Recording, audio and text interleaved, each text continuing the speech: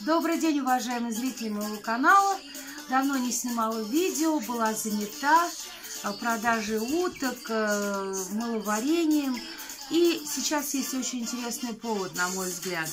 В этом году моим курочкам, основным маранам, исполнилось 4 года. Я стала задумываться о том, чтобы возобновить как-то поголовье, обновить, то есть даже.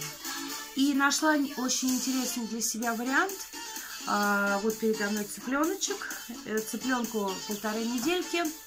А, вывела я цыплят. Вот из этого яйца, вот из такого яйца. А, могу сказать, что эта линия французская. Родители на одной из выставок завоевали первое место. Платиновую корзинку по окрасу яйца. А что вырастет, посмотрим. Очень интересно. Я слишком часто э, сталкивалась э, с такой проблемой, что э, птица выставочная, очень хорошие показатели по яйцу, э, покупаешь яйцо, выводишь в хозяйстве, и э, получается совсем не то, на что рассчитываешь. Поэтому не буду ничего говорить, не буду ничего гарантировать, но посмотрим, весной посмотрим, что эти девочки нам дадут. Будет интересно. Ну, а так вы все знаете, что у меня немецко-бельгийская линия маранчиков.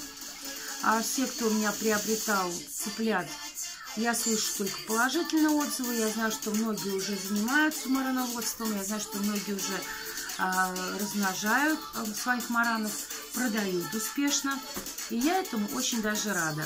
А, сейчас у меня выводится небольшое количество голубых цыплят. А, ну в общем-то, последний вывод вот прошел буквально сегодня. И уже на, в этом году я маранов больше не вывожу. Вот, кстати, сейчас я покажу своих маранчиков. Вот он голубо-медный маран. Но это от моей семьи. Вот эту семью вы все знаете. В общем-то, вдоль и поперек, кому это интересно. А, ну, вот здесь, наверное, на 20 цыпляток э, пару штук всего голубомеда, то есть совсем небольшой процент. Ну, вот так вот.